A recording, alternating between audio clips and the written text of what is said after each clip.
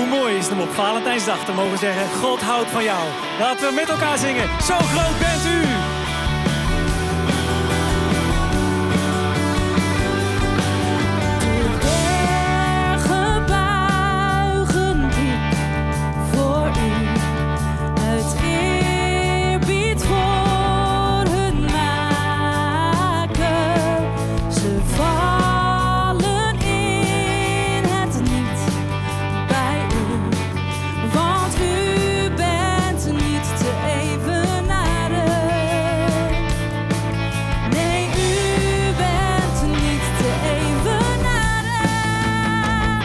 groot bent u.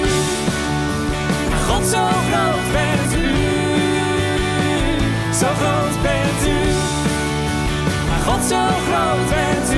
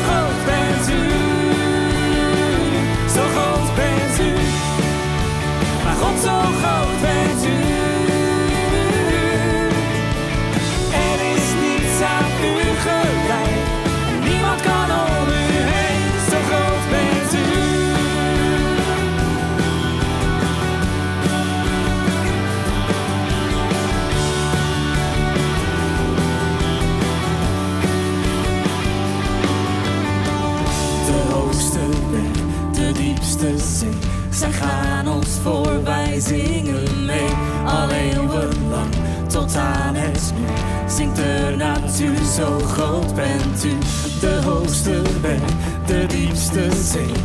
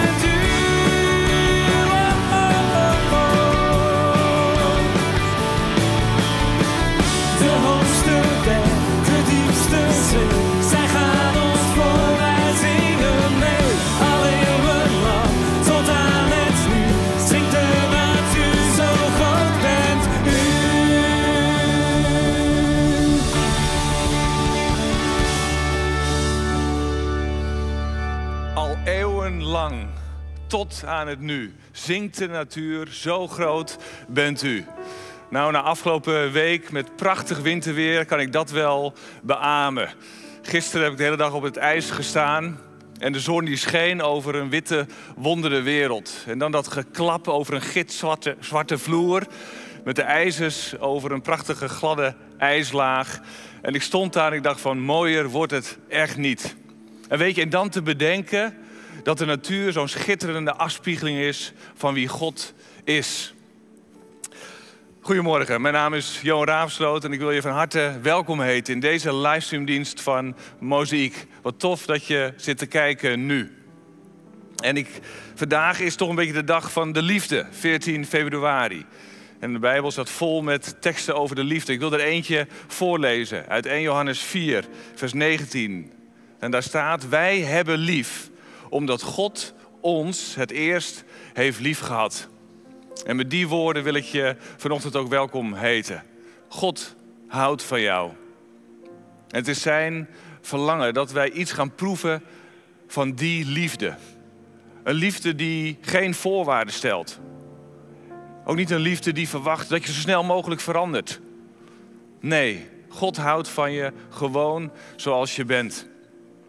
En ons verlangen vanmorgen is dat als je iets proeft van die liefde van God de Vader, dat je meer kunt gaan genieten van het leven, van jouw leven. Want ik geloof dat God ons het leven heeft gegeven als een liefdesgeschenk. Vanmorgen spreekt Tieme Westerduin in deze dienst. En Tieme is al langere tijd een goede vriend van ons als Mozaïek. En hij is betrokken bij Compassion Nederland.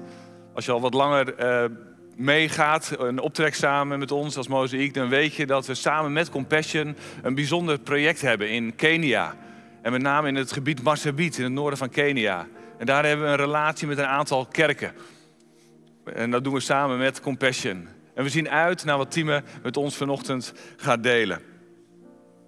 Zoals elke week zit er ook vandaag weer een contactteam klaar. En ze willen graag met jou in contact komen. Je ziet nu in het beeld hoe dat kan via de website, via de chat, via de socials. En maak daar gebruik van. Het kan zijn dat je gedurende de dienst merkt van... hé, hey, ik, er gebeurt iets in mijn hart of ik wil even in contact komen. Of ik zou graag gebed willen. Dat kan ook. We hebben een ministry team en zij zitten voor je klaar tijdens deze dienst. En willen heel graag met of voor jou bidden. Zullen wij nu ook met elkaar bidden en deze dienst aan God opdragen? Liefdevolle Vader, dank u wel voor deze dienst. Dank u wel dat u in ons midden bent als een liefdevolle Vader. U bent hier waar de opnames lopen, maar ook in elke woonkamer bent u aanwezig. Dank u wel dat u een God bent van liefde. Een liefde die geen eisen stelt. Die niet de verwachting heeft van hoe ons leven er allemaal uit moet zien. Maar een liefde die ons verwelkomt, gewoon zoals wij zijn. Het is ons verlangen en ons gebed dat we dat deze dienst ook zullen ervaren. En zo willen we een zegen vragen over deze dienst. Wilt u komen? Wilt u ons tegemoet komen? En mogen we een ontmoeting hebben met u? Dat bidden we in de naam van Jezus. Amen.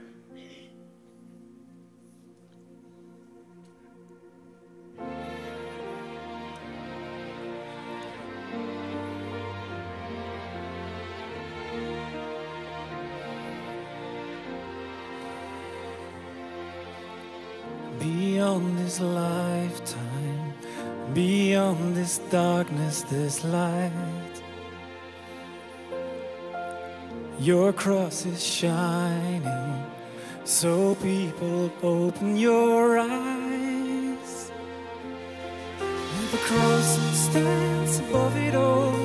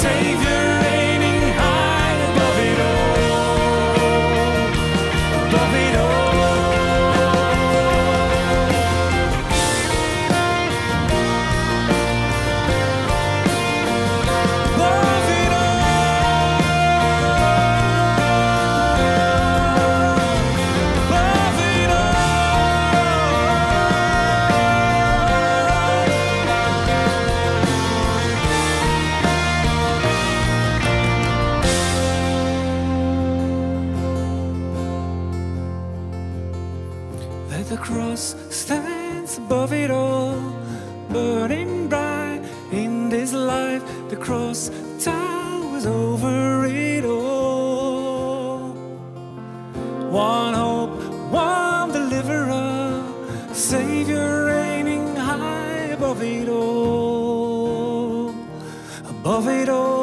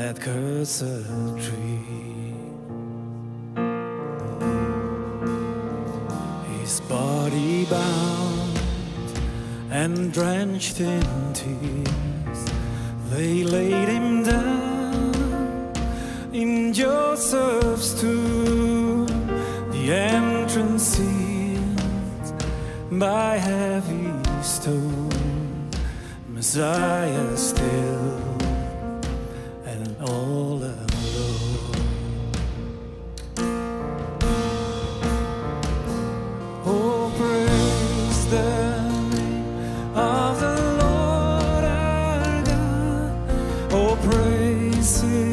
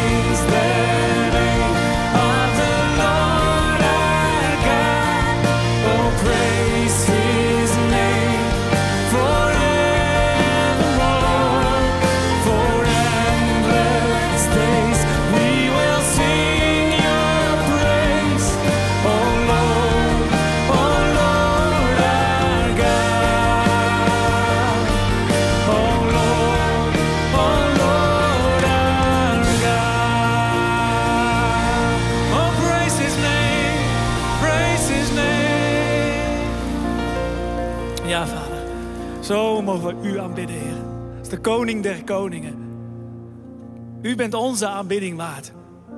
U bent niet veranderd. Dank u wel, Vader, dat u ons gemaakt heeft als aanbidders van u. En ik bid zo, Heer, dat we meer en meer mogen ontdekken dat als we u aanbidden, dat het iets met ons leven doet. Dat u wilt een relatie met ons. U bent niet veranderd. U bent nog steeds dezelfde. U bent een God van trouw. Een God van liefde. Een God die nooit loslaat wat zijn hand begon. In Jezus' naam. God van trouw, u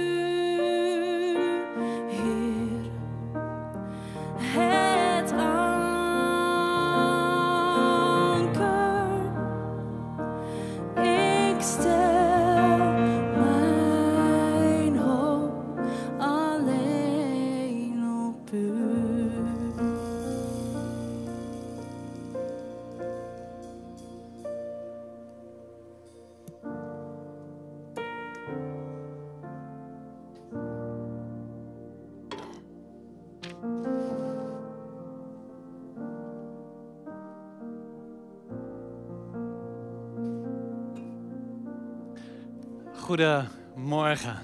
En misschien wel goedemiddag als je vanmorgen geschaatst hebt. Wat mooi om hier te zijn. Ik, uh, op, vroeger op tienergroep hadden wij een leuk liedje. En daar moest ik aan denken toen ik aan het voorbereiden was op Jezus en de storm. En misschien gaat dat liedje wel gelijk al door je hoofd. En hoewel mijn gezin mij waarschuwde, pap, ga nou maar niet zingen. Ja, ik, ik toch even dat liedje terughalen. Hè? With Jesus in the boat, you can smile in the storm. Smile in the storm, smile in the storm. Nou, en dan, dan vond ik hem eigenlijk het leukst als hij overging in gebaren. Want elke keer zongen we hem dan, dan zongen we hem denk ik wel dertien keer. En dan elke keer lieten we één woord vallen en dan ging je een gebaar doen. With Jesus in the boat, you can smile in the... Was het dan. En dus aan het einde hoorde je eigenlijk alleen maar, zag je alleen maar gebaren. En dan was het with... in de, mm, you can, mm, in de, f, f, mm, in de, f, f. nou enzovoort. Nou, en eigenlijk vond ik dat het leukst, die gebaren. Maar toch, toen ik dit, deze preek aan het voorbereiden was, toen dacht ik, is het eigenlijk wel waar?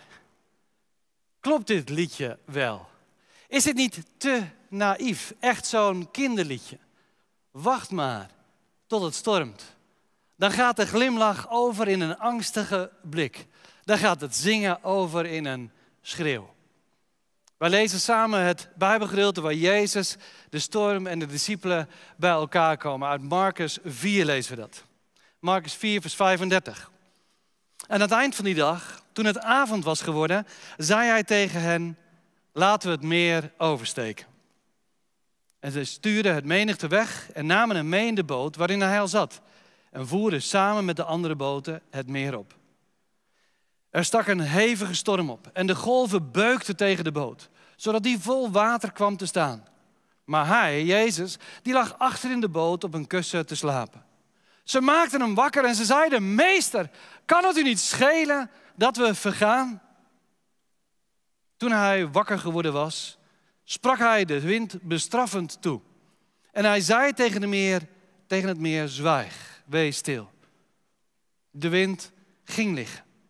En het meer kwam helemaal tot rust. En hij zei tegen hen: Waarom hebben jullie zo weinig moed? Geloven jullie nog steeds niet?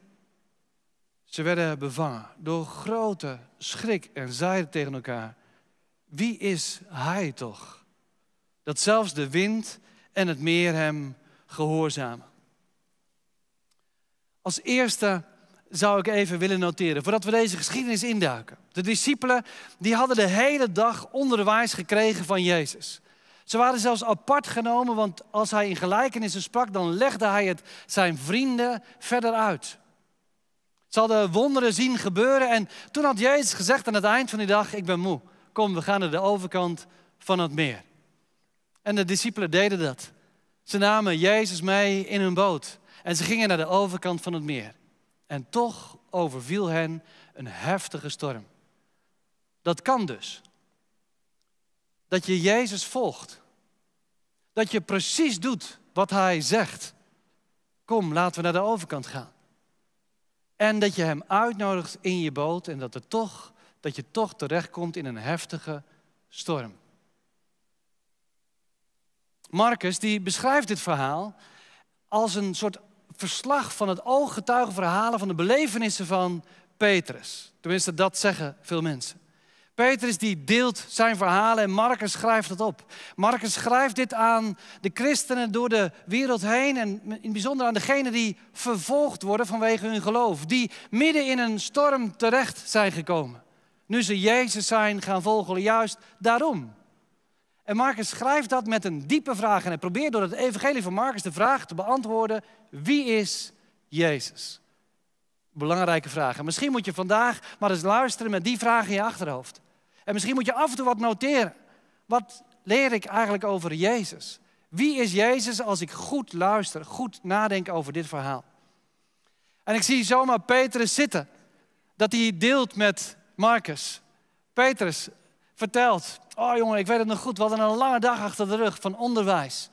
En Jezus zegt, zullen we naar de overkant gaan? En ik dacht van, hun naar de overkant? Dat is buiten Israël, dat is heidens gebied. Maar oké, als Jezus het zegt, dan doen we dat toch? En ja, varen, dat is ons ding. Preken, dat doet Jezus, maar varen, dat doen wij. Dus eh, we namen Jezus mee, zoals hij daar zat, achter in de boot.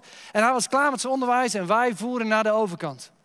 En het meer van Galilea, daar kan het zo heerlijk warm zijn. Maar soms landt dan de koude lucht vanuit de Hermon daar boven het meer van Galilea. En dan kan het weer soms in één keer omslaan. Jongen, dat gebeurde toen ook, Marcus.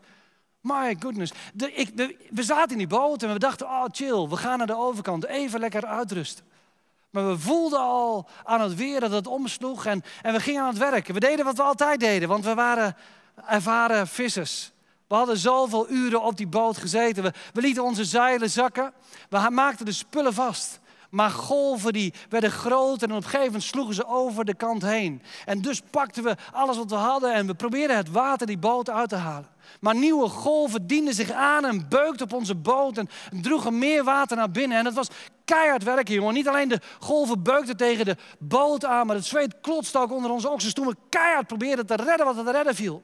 En op een gegeven moment, het is zoet water, het meer van Galilea, maar ik proefde het zout. En dat was niet van het water van het zee, maar dat was denk ik mijn angstzweet wat zich vermengde met het water. Ik was benauwd, man.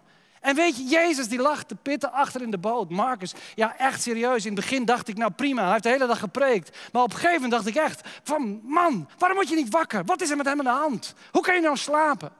En, en ja, natuurlijk proberen we te fixen.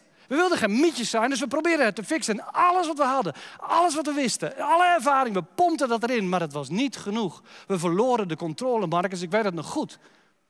En toen ging ik naar Jezus. Ik heb hem beet gepakt en ik heb hem geschreeuwd. Ik weet het nog, jongen. Ik, ik heb hem beet gepakt en ik heb hem geschreeuwd. Kan het u niks schelen dat we vergaan? Jezus, word wakker. Eigenlijk zien we in dit verhaal drie stormen. Niet alleen maar een storm op het meer. Drie stormen. We lopen ze langs. Allereerst is daar die storm in de omstandigheden. Die het leven van deze discipelen, die de boot overvalt. Een wind waait aan, golven rijzen omhoog en die boot wordt alle kanten opgesmeten. En hoeveel ervaring ze ook hadden, hoeveel kennis ze ook hadden en hoe hard ze ook werkten, het was niet genoeg. Ze waren hier goed in, in varen, in omgaan met de omstandigheden. Maar dit redden ze niet. Ze, gingen, ze verloren het. Het kan hè, dat er iets je leven binnenkomt en dat het te groot is. Dat de kracht ervan te sterk is. Dat het misschien wel op een gebied is waar je altijd je vertrouwd hebt gevoeld. Maar dat het je uit handen wordt geslagen. Misschien ook in het gebied van je relatie. Je bent een goede echtgenoot. Je geeft je leven, je hebt je toegewijd aan je gezin. En ineens komt daar die storm van ontrouw, verwijdering. Ineens heb je het niet meer voor het zeggen. Alles wat je kon is niet genoeg om het heel te houden. Je gaat er aan onderdoor. Of misschien heb je altijd een gezond lijf gehad, heb je gesport en was je energiek, maar sloeg die storm naar binnen in de vorm van een ziekte. En wat je ook probeerde, je deed alles wat je kon, je, je riep elke hulp in, maar het is niet genoeg. Je verliest de controle. Je hebt een bedrijf opgestart, je bent een goede ondernemer of je bent energiek aan het werk gegaan. Maar door de omstandigheden in je werk of de crisis om je heen wordt uit de handen geslagen. Wat je had, je redt het niet. En misschien is het voor jou wel de storm in je denken. Dat je, dat je, dat je probeert erbij te horen. Dat je alles eraan doet om een, een plekje te veroveren tussen je vrienden of tussen de mensen om je heen. En dat je, lukt het je maar niet. De storm is te groot. En de golven van eenzaamheid en eindeloos gepieken die beuken op je. En je krijgt het niet meer onder controle. En dan zingen we hier, en als de golven overslaan, dan blijf ik open op uw naam. Maar ergens is het een prachtig lied en tegelijkertijd draait hij binnen in jou wat om. Blijf ik hopen op uw naam? Mijn ziel wordt onrustig, want ik vraag me af of u dichtbij bent. Ben ik wel van u en bent u wel van mij? Die storm in je omstandigheden, die kunnen zomaar een storm in je denken veroorzaken. Dat is die tweede storm. Een storm waar, waarin je je emoties of je denken niet meer onder controle krijgt. Daar waar je misschien wel normaal een relaxte vrouw of, of een energieke vent bent, word je nu paniekerig. En word je angstig. Je krijgt het niet meer onder controle. Je ligt er wakker van. Je hebt s'avonds een wijntje nodig en s'morgens weer koffie om, om er doorheen te komen. De paracetamols die vliegen er doorheen. Want je redt het gewoon niet meer. En ook dat is niet genoeg. De storm om je heen wordt zomaar een storm in je denken. En dan is het even niet meer you can smile in de storm. Maar dan wordt het een schreeuw in de storm. Ik denk als Johannes op dat moment tegen Petrus had gezegd: Hey Peter, ken nog een leuk liedje man. With Jesus in the boat. Ken je die gebaren nog?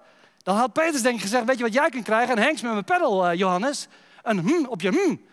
Meer even helemaal niks. Hoezo kun je nu gaan zingen een leuk liedje? Op dat soort momenten, als de storm om je heen te heftig wordt om het onder controle te houden en dat die naar binnen slaat in je denken, dan kan het maar zo zijn dat, dat een mooi, leuk liedje een heel stom en irritant liedje wordt. Dat dat waar je normaal je vreugde uit vond, dat je er nu boos om kan worden. Dat een goed bedoelde opmerking die iemand je vertelt om je te troosten. God, God kan hier wat mee. God heeft hier vast een plan mee. En het troost je niet, maar het maakt je kwaad. Soms is het op dat soort momenten, als je het storm je leven binnenkomt, dat het lijkt alsof het geloven het eerder zwaarder maakt dan lichter. Want je hoopt op iets en het gebeurt niet. Je vertrouwt iemand, maar het lijkt alsof hij je in de steek laat. En dat is een derde storm die er zomaar achteraan komt. De storm in je geloof. Dat je denkt, waar is hij?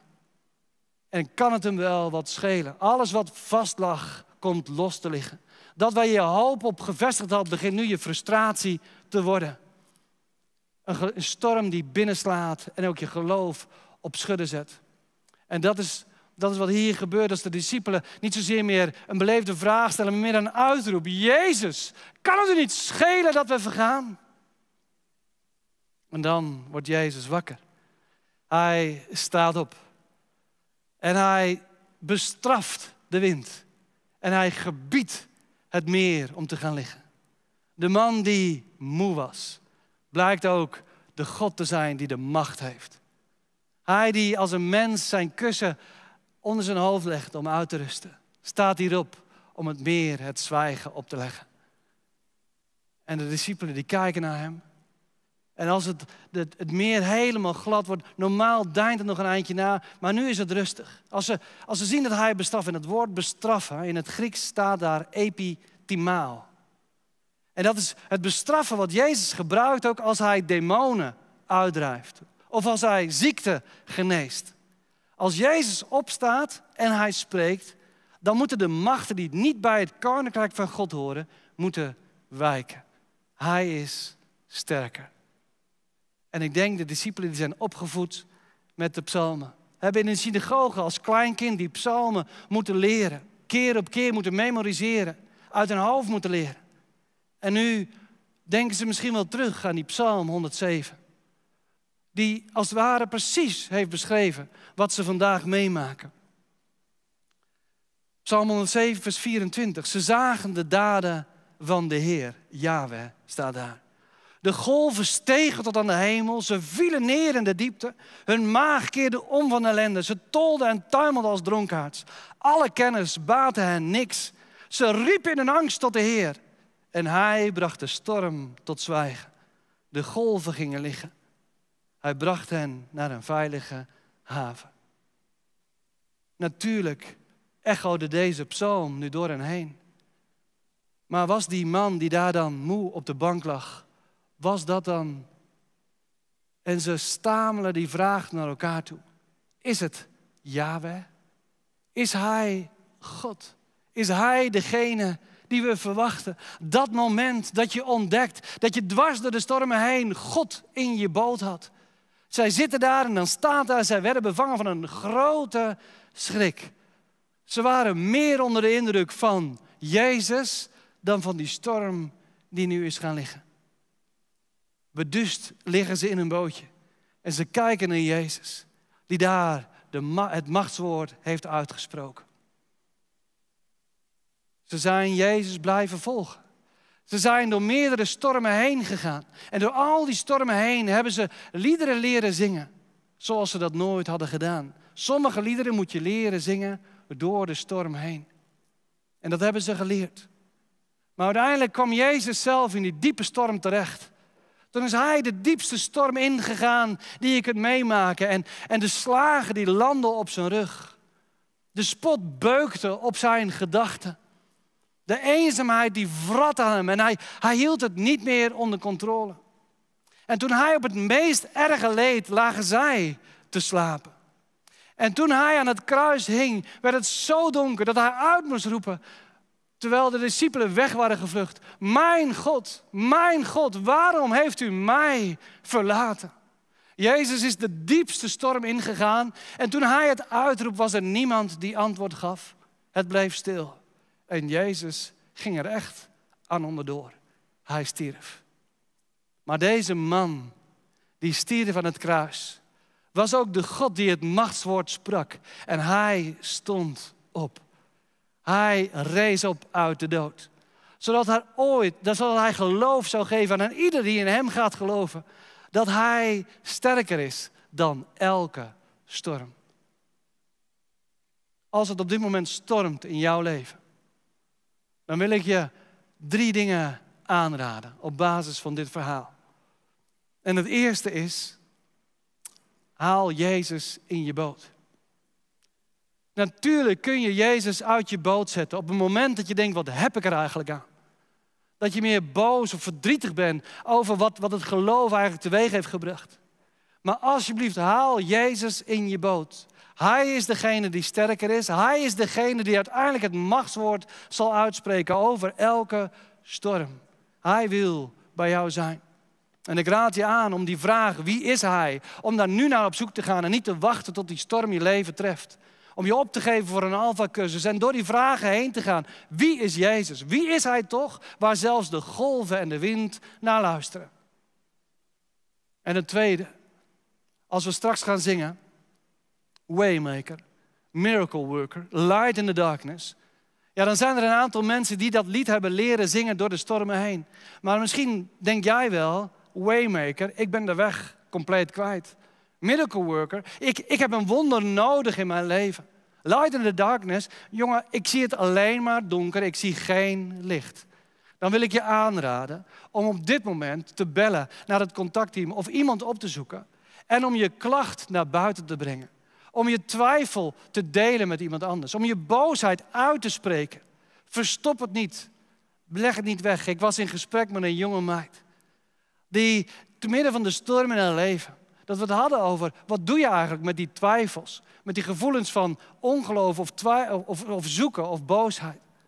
En toen zei ze van ja, is het wel oké dat ik dat uitleg? Is het geen teken van ongeloof of, of, of niet vertrouwen? En toen vroeg ik haar, aan wie heb jij je diepste verdriet, je grootste twijfel gedeeld? Met wie doe je dat? Ja, met bijna niemand. Je echte angst, je boosheid, de lelijkheid daarvan, dat deel je eigenlijk met niemand. Of je moet hem of haar wel heel duidelijk vertrouwen. En we hadden het erover hoezeer de psalmen ons voorgaan een derde van de, dat hele aanbiddingsboek, een derde van al die psalmen hebben een klacht, een uitroep. Vallen in de lamentations, de klaagpsalmen. Een derde. Het leven geeft klachten. En het is een eer. Het is een teken van een groot vertrouwen als je dat uitspreekt bij iemand. Als je dat uitspreekt naar God toe. God wil het horen. Hij wil niet alleen maar de handen in de lucht van aanbidding, maar ook als een uitroep. Ik weet het niet meer. Juist daarin laat je zien dat je dwars door de stormen en in die vragen hem toch benadert en zegt: God, ik zoek mijn antwoord bij u, ook al zie ik het totaal niet. Dus naast dat je Jezus mag uitnodigen in je boot, wil ik je aanraden dat wat er in jou zit, die diepe twijfel, die boosheid, die angst, spreek het uit. Maak het kenbaar. Deel het met iemand met wie je gewoon dat lelijke wil laten zien in Gods aanwezigheid. Hij valt er niet van omver. En als derde wil ik je aanraden. Leren zingen. Zingen moet je leren. Door de stormen heen. Ik wil je aanraden om mensen op te zoeken. Die hebben leren zingen door die storm heen. Die, die weten wat het is om gebeukt te worden door die golven. Dat de golven steeds meer worden en dat het maar niet ophoudt. En toch hebben ze hun geloof behouden. Ze zijn hier in de kerk, ze zijn in jouw omgeving. Misschien wel dichterbij dan je denkt. Vraag het eens. Wat is de storm die op jouw leven heeft gebeukt? En hoe is Jezus daarin aanwezig geweest? Zingen moet je leren. En dat kun je leren van mensen die jou zijn voorgegaan. Jezus wil dat jij sterker bent. Of dat je meer onder de indruk bent van, van Hem dan van de storm in je leven. Jezus is sterker. Er komt een moment, dan zal Hij opstaan en dan zal Hij spreken. En dan zal de wereld zien, Jezus is sterker. En als Jezus opstaat, zal al de golven moeten gaan liggen. Als Hij spreekt, zal elke storm moeten zwijgen. Jezus is sterker. Amen.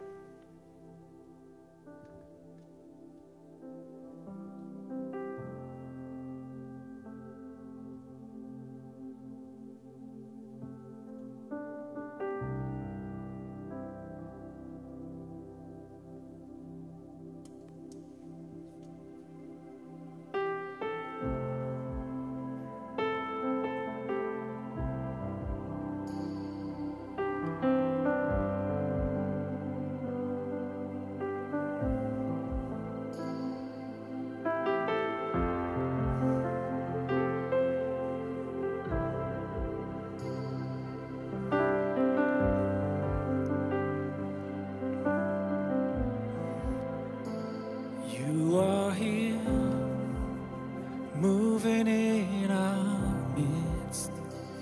I worship.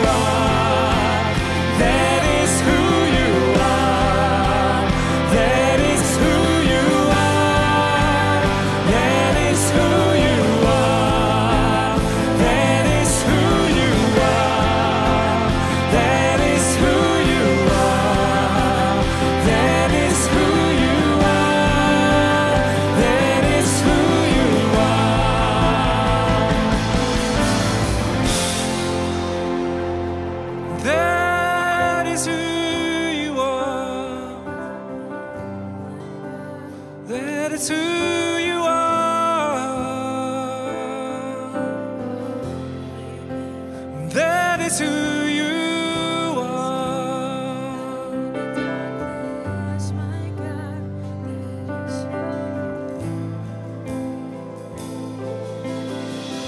Even when I don't see it, you're working. Even when I don't feel it, you're working. You never stop, you never stop working. You never stop, you never stop working. Even when I don't see it, you're working. You never stop, you never stop working. You never stop, you never stop working. Even when I don't see it, you're working. Even when I don't feel it, you're working. Never stop, never stop working.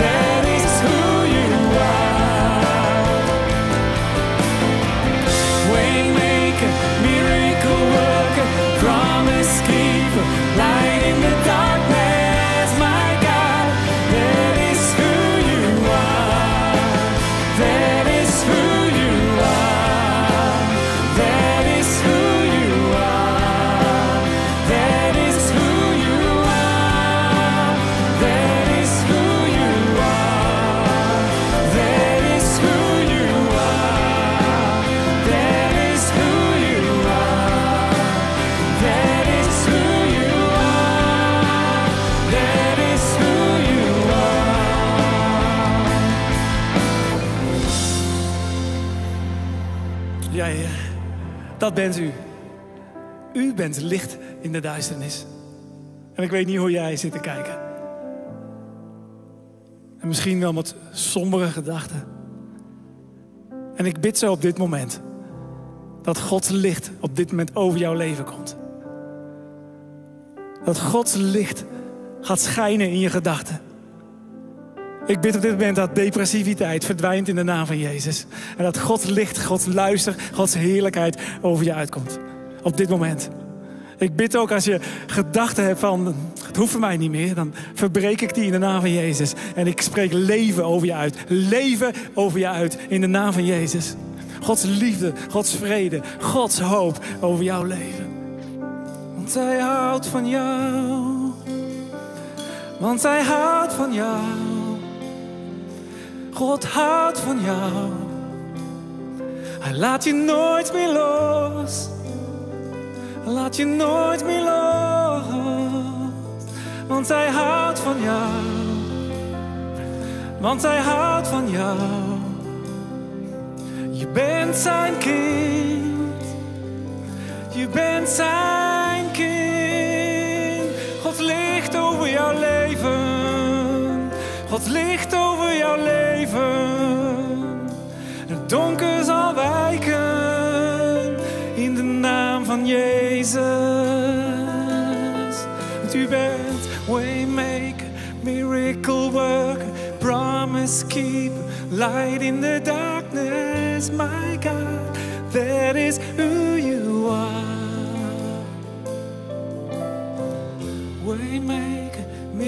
Worker, promise keeper, light in the darkness, my is you are.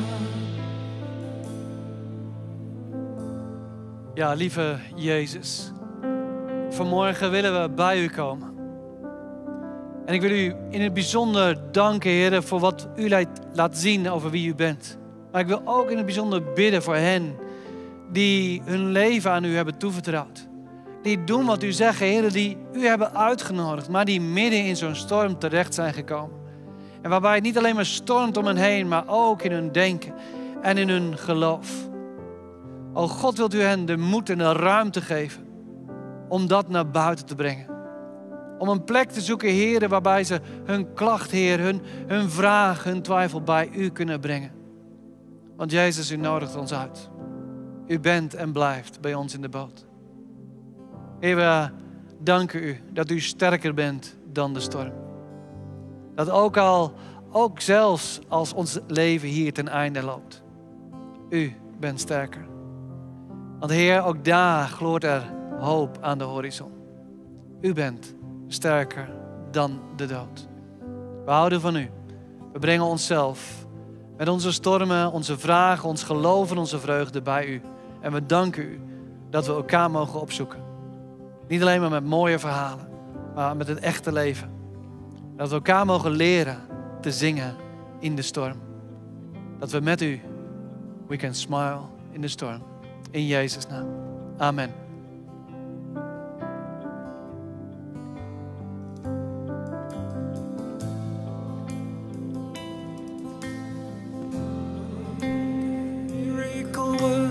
Promise keeper, light in the darkness, my God, that is who you are. Waymaker, miracle worker, promise keeper, light in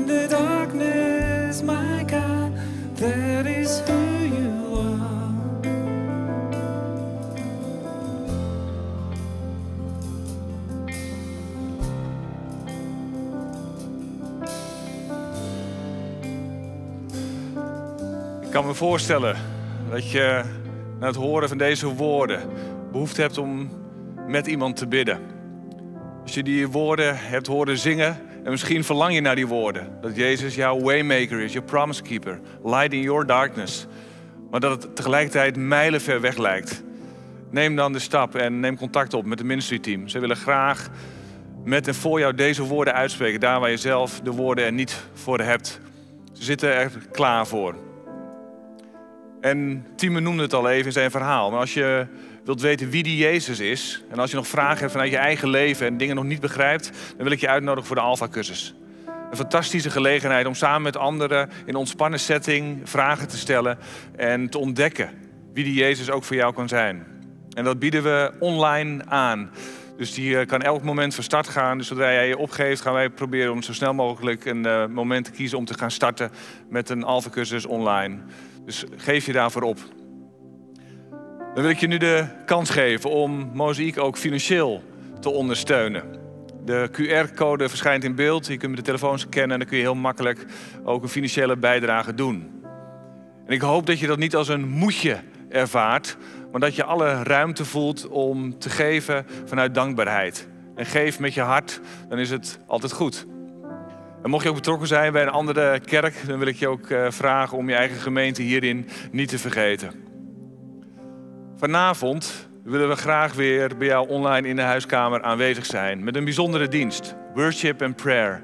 Een ontspannen dienst waarin we alle ruimte nemen om God te aanbidden, liederen te zingen, maar ook gezamenlijk te bidden. Vanuit hier deze plek waar de opnamen zijn, maar ook bij jou in de woonkamer, om God te zoeken en samen te bidden. En dat begint vanavond om half acht. Ietsje eerder vanwege de avondklok. Dus let op, half acht willen we starten met worship en prayer. Je bent van harte uitgenodigd. Uiteraard, volgende week, zondag, zijn we er ook weer. 10 uur, onze kinderdienst met Olly en Sophie. Die weer staan te springen en te wachten om uh, jullie te ontmoeten. Of in ieder geval de kinderen te ontmoeten. En om 11 uur dan weer de livestreamdienst. Dus van harte uitgenodigd om daar te zijn. En laten we afsluiten met een zegenbeden. En ik bid dat de genade van Jezus Christus en de liefde van God de Vader, een liefde die geen eisen stelt en een liefde die niets liever wil dan jou verwelkomen. En de aanwezigheid met de Heilige Geest, de verbinding met de Vader, dat die met je meegaat deze nieuwe week in. Amen.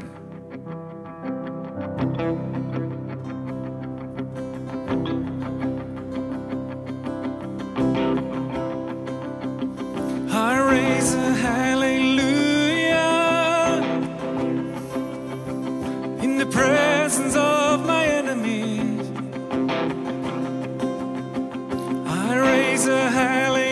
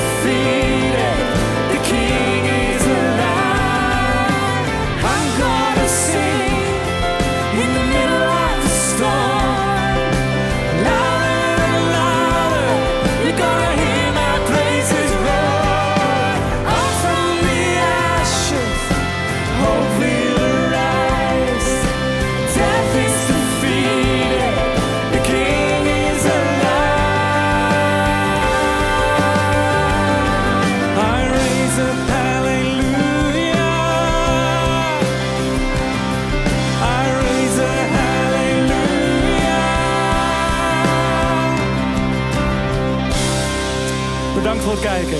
God zegen en tot volgende week.